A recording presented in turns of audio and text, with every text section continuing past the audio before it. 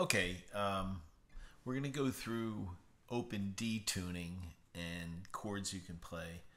Um, I know there's videos out there, but what I've discovered is a lot of the song, well, almost every song that I can play on a standard acoustic guitar or even electric guitar, um, with this open D tuning, you can play just about every song.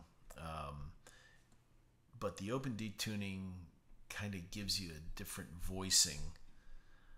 Um, kind of a lot of slash chords. If you if you uh, take a look or if you analyze the notes that you're playing on some of these chords, they're not just like a straight G chord. It's it's kind of um, the way you finger it. It's it's a G slash B, and um, you know a lot of kind of different voicings of chords that really will change a song or um, just give it a whole new life, you know, from just playing the standard chords on uh, a standard tuned guitar. So, um, so you tune it. Uh, open D is going to be D A D F sharp A D. So it's going to be.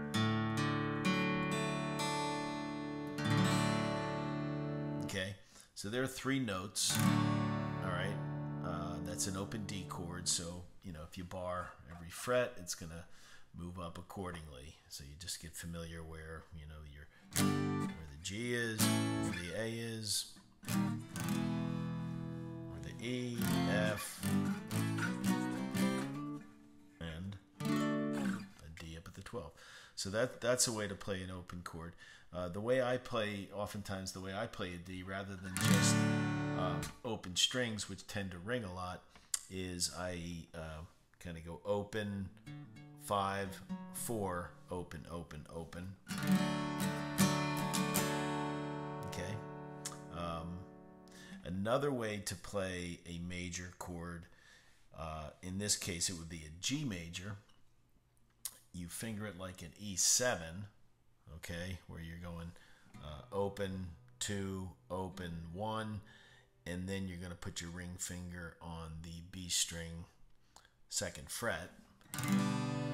Okay, so that's uh, that's actually it might be a, a G with a, a G slash uh, B, but in any case, I often play that as a G chord in any song um, that I'm playing.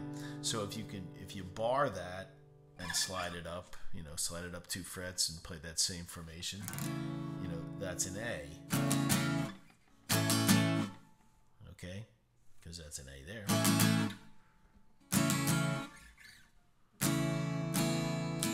And if you pick up that pinky, not sure what chord that is, but it's it's kind of like an A, but it just has a.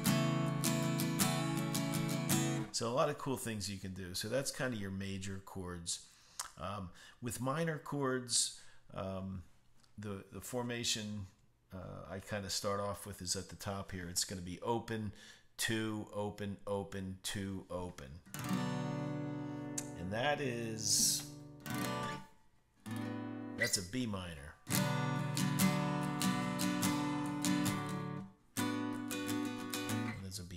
There too, so I'll show you that second shape of a minor chord.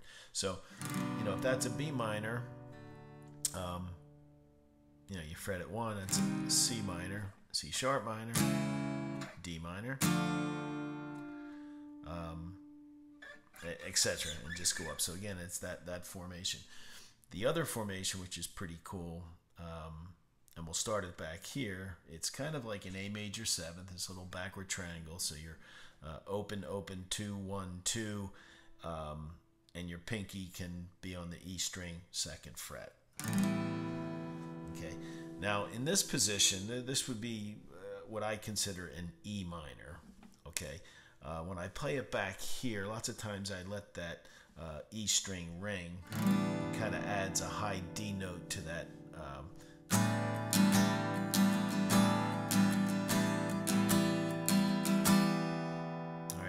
but uh, with the pinky down, that's kind of the formation for an E minor.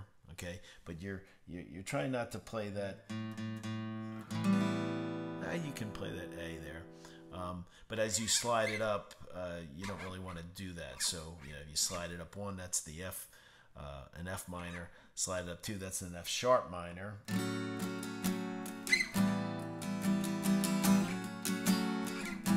And likewise, you know, G. minor, etc. Okay, so that's kind of the formation.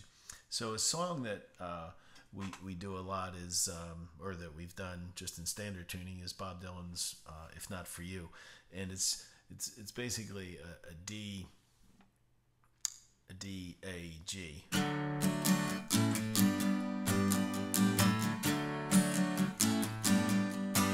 Okay, that's how I play that D. Um, or you can play.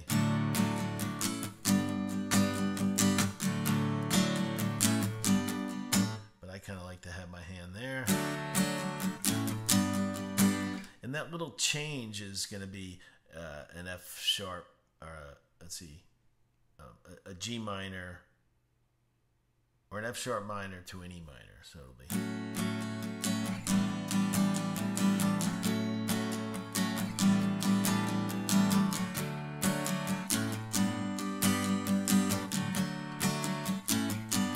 If not for you. If I lay awake all night, waiting for the morning light shining through. If not for you. And then all the other chords, even, you know, on the bridge part, you know. If not for you, my sky would fall, rain would gather too. If I for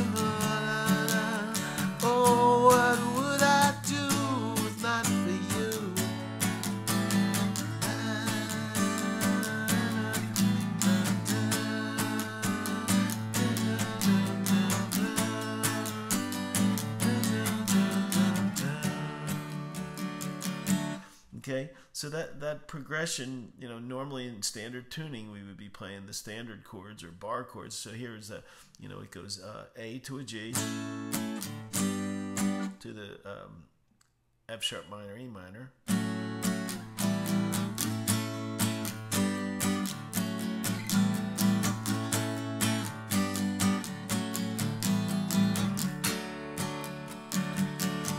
Yeah, there are all the chords for that.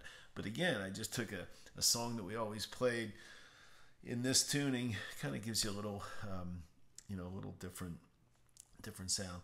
Um, you know, A, G, F sharp minor.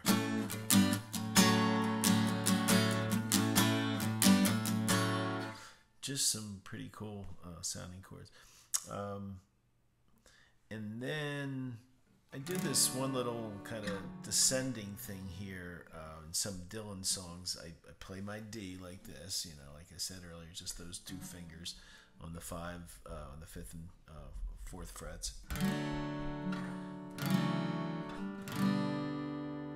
So that's a that's a D. I don't know what chord that is, but I'm kind of just uh, dropping it down one fret, but actually two frets with that string. So it's uh, it's open four two open, open um, to that. Oops, to that G. Um, another major chord, you know, I, I, I, I play that I play that D here, you know, with two fingers. You can actually put your third finger down uh, on the third string, third fret, and you can even throw your pinky on the uh, B string or second string, fifth fret,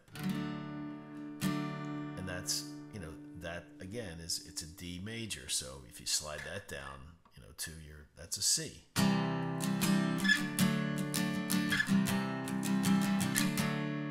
Slide it up. E, F, G.